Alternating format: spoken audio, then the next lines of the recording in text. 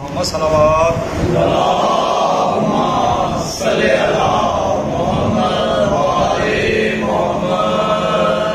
السلام علیکم سب کوئی عالی مدد، بھائی جان، بہت بڑا گزارش ہے کہ ساری سنگت جو تھوڑا جنا اختلاف پیدا ہویا ہے اختلاف رائے رکھنا سب کا حق ہے، اور جنہوں نے بھی رکھیا انہوں کا حق ہے۔ لہٰذا میری سب اگے گزارش ہی کی ہے کہ ਬਰਾਏ ਮਿਹਰਬਾਨੀ ਇਹ ਫੇਸਬੁੱਕ ਤੇ ਜੋ ਜੋ ਜਿਹੜਾ ਜਿਹੜਾ ਲਗਾ ਰਿਹਾ, ਇਹਨੂੰ ਬੰਦ ਕਰੋ, ਤੁਹਾਡੀ ਮਿਹਰਬਾਨੀ। ਸਾਡੀ ਇਖਤਲਾਫ ਹੋਇਆ ਵੀ, ਅਸੀਂ ਦੂਸਰੇ ਦੇ ਦੁਸ਼ਮਣ ਨਹੀਂ ਹਾਂ।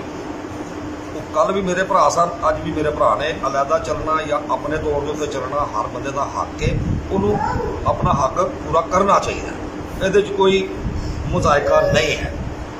ਲਿਹਾਜ਼ਾ ਗੁਜ਼ਾਰਿਸ਼ ਹੈ ਕਿ ਇਹ ਤੁਸੀਂ ਇਹ ਸਾਰੇ, ਇਹ ਫੇਸਬੁੱਕ ਵਾਲੇ ਕੰਮ ਨੂੰ ਬੰਦ ਕਰ ਦਿਓ ਤੁਹਾਡੀ ਮਿਹਰਬਾਨੀ ਪਹਿਲੇ ਵੀ ਇਸ ਤੋਂ ਅਗਰ ਕੋਈ ਪੋਸਟ ਆਈ ਹੈ ਤੇ ਮੇਰੇ ਤਰਫੋਂ ਕੁਝ ਨਹੀਂ ਹੈਗੀ ਹੁਣ ਵੀ ਅਗਰ ਆਏਗੀ ਤੇ ਮੇਰੀ ਤਰਫੋਂ ਕੁਝ ਨਹੀਂ ਹੈਗਾ ਨਾ ਮੇਰੀ ਸੰਗਤ ਦੀ ਤਰਫੋਂ ਕੁਝ ਹੈਗਾ ਅਸੀਂ ਸਾਰੇ ਇੱਕ ਹਾਂ ਸਾਡੇ 'ਚ ਇਖਤਲਾਫ ਜ਼ਰੂਰ ਹੋਇਆ ਲੇਕਿਨ ਇਹ ਸਾਬਤ ਕਰ ਨਹੀਂ ਹੋਇਆ ਕਿ ਅਸੀਂ ਇੱਕ ਦੂਸਰੇ ਦੇ ਖਿਲਾਫ ਪੋਸਟਾਂ ਲਗਾਈਏ ਜਾਂ ਇਹਦੀ ਮਦਦ